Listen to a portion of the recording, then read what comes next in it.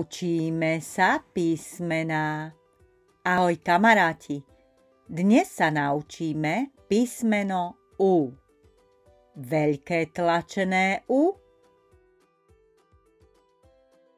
Malé tlačené U. Veľké písané U. Malé písané U. U ako ucho. Písmeno U môže mať aj dlžeň.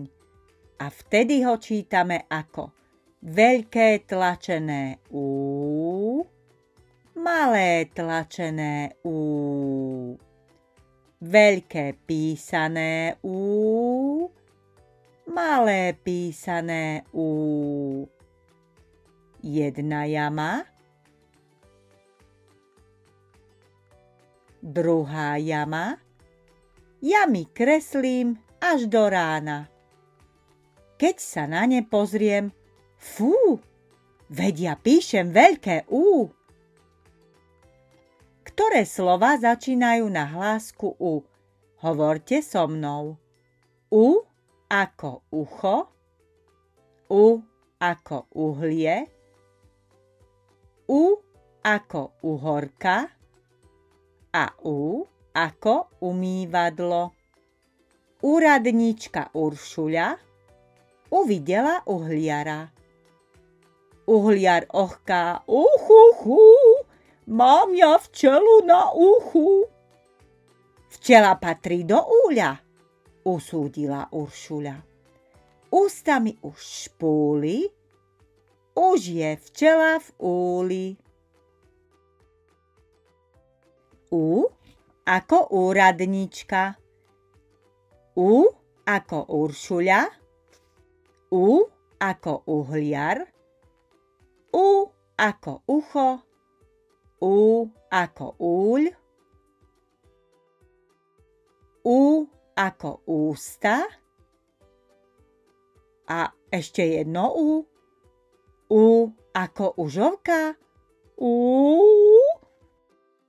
Hláska U môže byť na začiatku slova, napríklad v slove ujo, vo vnútri slova, napríklad v slove mucha a hláska U môže byť aj na konci slova, napríklad v slove sejú. Povedzte, kde sa nachádza hláska U v slove ulica. Ak ste povedali, že na začiatku slova Máte pravdu. Dni v týždni sa volajú pondelok, útorok,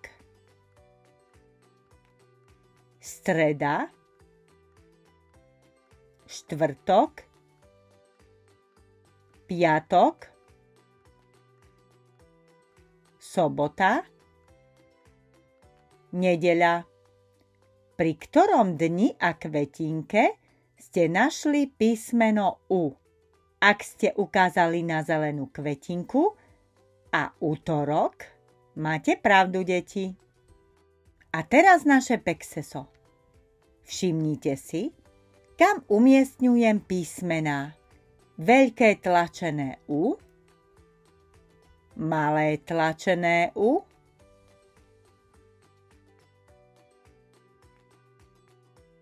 veľké písané U,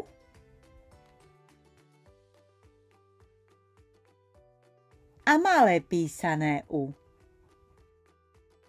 Teraz písmena schováme.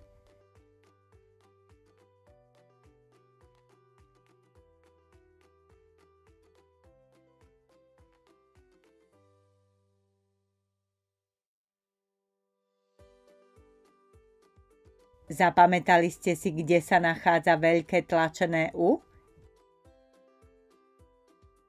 No ak ste povedali, že je druhé v dolnom rade, máte pravdu. A kde nájdeme veľké písané U?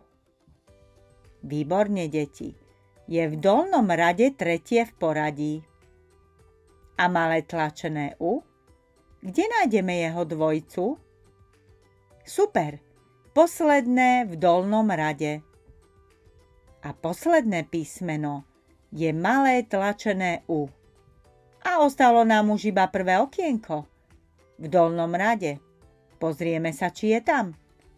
Výborne, je to malé tlačené U. Ak sa vám podarili uhádnuť všetky okienka, ste veľmi šikovné. Ale ak nie, nevadí. Zahrajte sa ešte raz a určite to zvládnete. Ktoré zo slov nezačína na hlásku U? Učiteľka, udica, UFO, veverička, ukazovák, univerzita.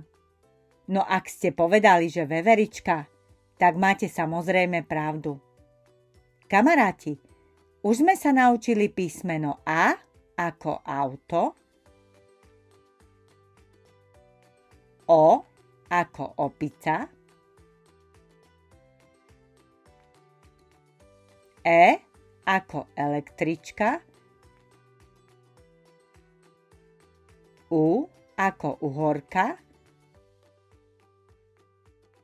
M ako myš a na budúce sa spolu naučíme písmeno I ako ihla. Na dnes je to všetko. Uvidíme sa v ďalšom videu. Ahoj!